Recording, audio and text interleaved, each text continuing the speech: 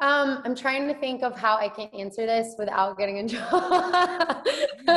in the book, you mentioned um, the lost luggage, which was fascinating to me. Um, did they give you guys clothes and makeup, or what? What did you? How did that end when you had no luggage for two days?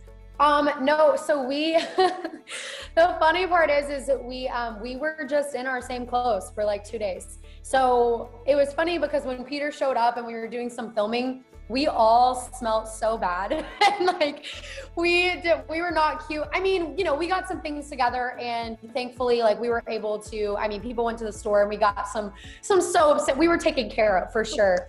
But we didn't have like our clothes and like our own like makeup and things like that because our luggage got lost. So it was it was a wild two days in the middle of the rainforest in costa rica Um, speaking of clothes, you mentioned, you know, you're a sneaker girl. You wore sneakers on the show for rose ceremonies and stuff, which I think is fun. Did the producers or anyone ever try to pressure you to wear heels or anything, or do they let you guys totally get dressed however you want?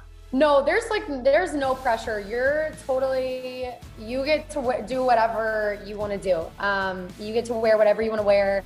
I wore sneakers the very first night, and I'm very glad that I made that move because it was a long night. So I'm glad that I chose the sneaker route. Um, everyone, all the girls were jealous. They were like, "Dang it, we should have, we should have done that. We should have made that call." I was like, "Yeah, I, I was smart in this moment."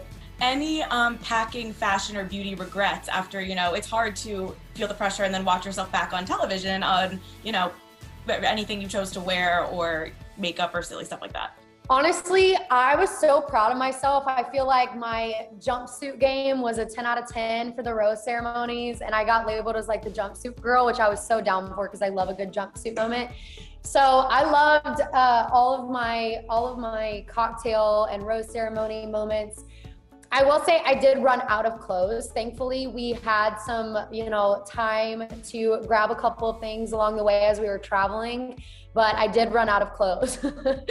um, of course, you don't know how long you're going to be there, and so you know, you just pack and hope that you have enough clothes while you're there. Yeah, but sure. um, but yeah, I did run out, and thankfully got some along the way. But other than that, no. I mean, I think it was, uh, I think it was a a good a good little time. Packed a lot of Lululemon.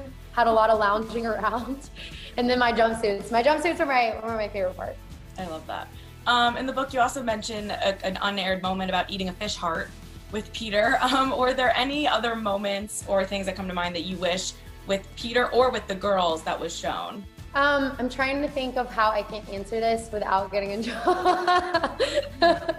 um, you know, I mean, I think that for me, I can genuinely say because people actually ask me all the time, like, do you feel like you know you were aired in in your truest way and in a fair way? And i can honestly say yes. Like i do feel like you know my personality my heart was shown. I will say there is a part of my personality that a lot of people didn't like fully get to see and maybe i just didn't let it out enough because it's it's so funny. Everyone when they meet me they think that i'm one they they think i'm taller than i am. So when they meet me i always get told you're way shorter in person than i thought.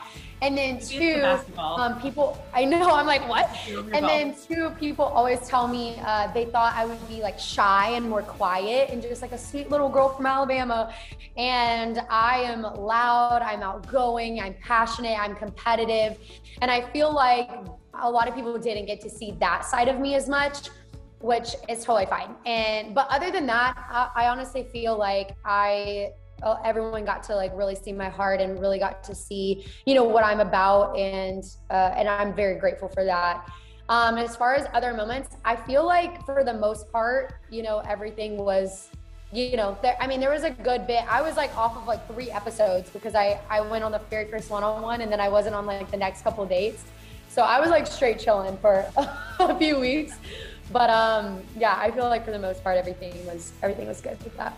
Um, you also mentioned group dates, getting a little competitive, you know, playing football and all that. So, last one, do you have any regrets about getting competitive on group dates or any group date regrets at all? No, because I'm like, again, I was nothing but myself that entire experience. Um, I mean, I try to be like that in everything that I do with my life, but I was fully me. I didn't change myself for anything or anyone. And that is something that, you know, I want to help a lot of, because I know a lot of people do feel that need and that pressure to change themselves for someone or for something to be loved, to be accepted, to fit in. And that's what I really want to encourage so many people is actually like, no, you were created the way that you are for a reason. And that's beautiful. And you should embrace that fully, no matter what environment you're in, no matter what pressures you feel. And so I can honestly say throughout that entire bachelor experience, I was 100% myself. When the competitive moments came out, they came out.